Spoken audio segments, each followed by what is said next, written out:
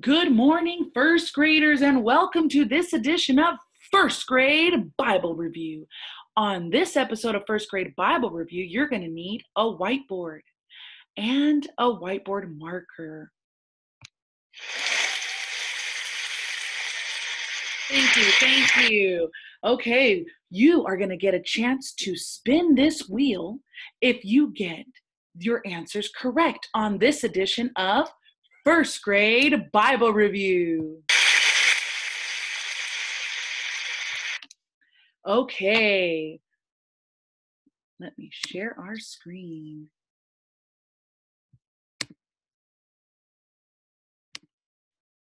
Here we go. The first question you're going to write the answer for is What sign did God give us that He promised to never destroy the earth again with a flood? Don't, oh, don't give me the answer. Don't say it out loud. Go ahead and write that answer on your whiteboard. What was the sign that God gave us that He promised to never destroy the earth again with a flood? All right, the next one. What name, meaning three in one, is given to God the Father, God the Son, and God the Holy Spirit?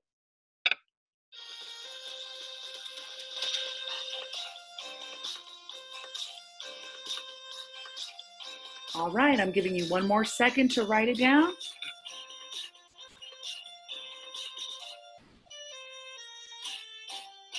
Okay, and next question. What did God make the first man out of? Hmm, the first man he talks about in the Bible, what was he made out of?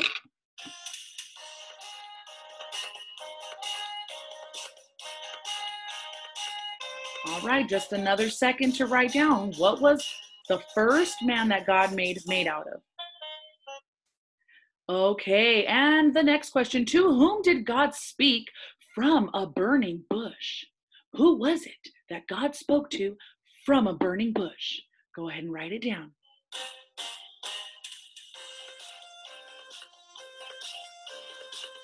All right, just another second to write down who God spoke to from a burning bush.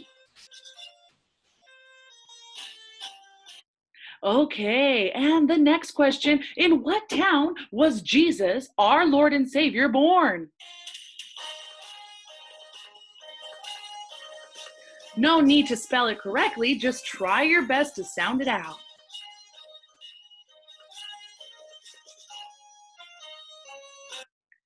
Okay, and the next question What were the people trying to do when they built the Tower of Babel? Remember, they built the Tower of Babel really, really tall, really, really high. They were trying to reach what? All right, go ahead and write your answer down. Okay, and next question What are the first three words in the Bible? Hmm, think about that and write them down.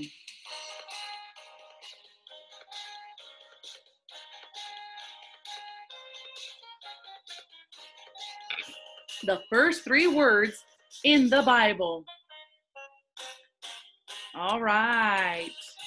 And the next question is What is the name of the tradition where a believer in Jesus is lowered underwater and raised again? Again, what is the name of the tradition where a believer is lowered underwater and raised again? Go ahead.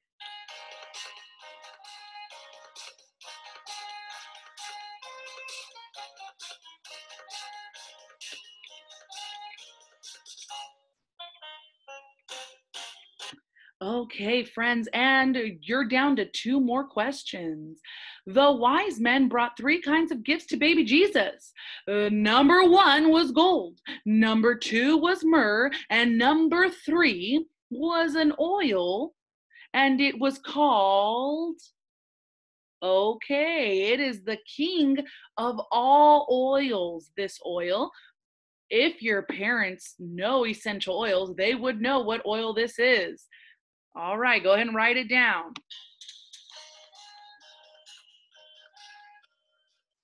Couple more seconds to write down the name of the oil, the third gift that the wise men brought to sweet eight pound baby Jesus.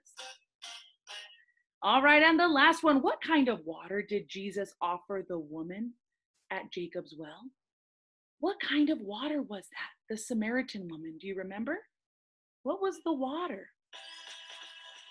He said he had water that would no longer that would quench her thirst that she no longer needed any more water because he was going to give her this kind of water. Do you remember? All right write it down. A couple more seconds. As soon as this little jingle's over and we'll check our i'm going to need you guys to write Okay, I'm going to need you to make sure that all of those are written. There's 10 questions I just asked you, okay? We have learned all of these through all the different stories that we've done. Okay, I want to make sure that your answers match the answers that I have here. Are you ready?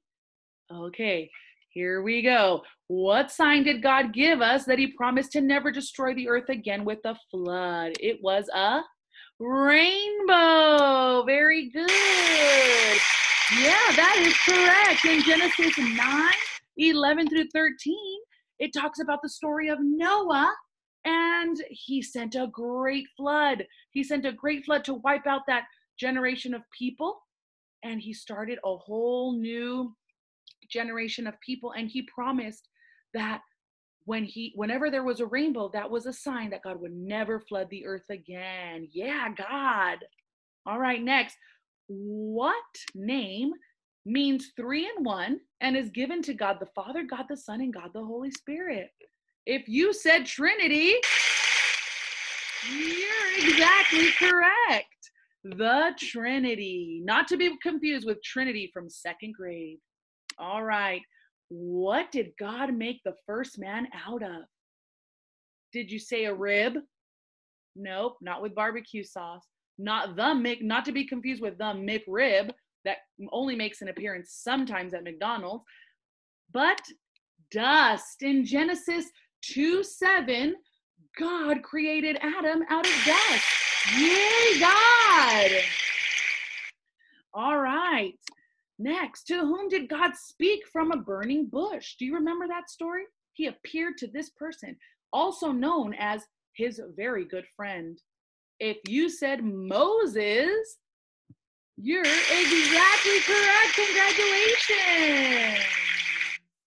Okay, next. In what town was Jesus born? That's right, it was Bethlehem. In Matthew 2 1 it tells us that Jesus was born in Bethlehem.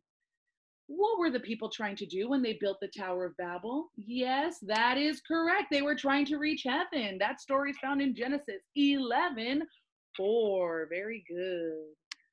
What are the first three words in the Bible? Hmm. Hmm. Did you get it? Yes, in the beginning. Genesis 1 1 says, in the beginning. And it continues on to say, God created the heavens and the earth. Yeah, God. Okay, what was the name of the tradition where a believer in Jesus is lowered underwater and raised again? Do you remember? Some of you might have done this already. Or you've seen your older sisters or brothers or maybe someone else in your family. It's called baptism. Yes, correct, baptism. And next, the wise men brought three kinds of gifts to baby Jesus gold, myrrh, and the last one, frankincense. Very good. Frankincense is an essential oil, but it's also made out of a resin. Some of you might know that, but that's found in Matthew chapter 2, verse 11. And the last one, what kind of water did Jesus offer the woman at Jacob's well, the Samaritan woman? You remember that story? He said, I have a water that I can give you that's none like any other water. This will quench your thirst forever. It is the living water found in John 4 10. Living water. That's water that only God can give us. All right, friends, if you got every single one of those right, there are 10 questions. If every single one of those answers is correct on your whiteboard, tell your parents to snap a picture.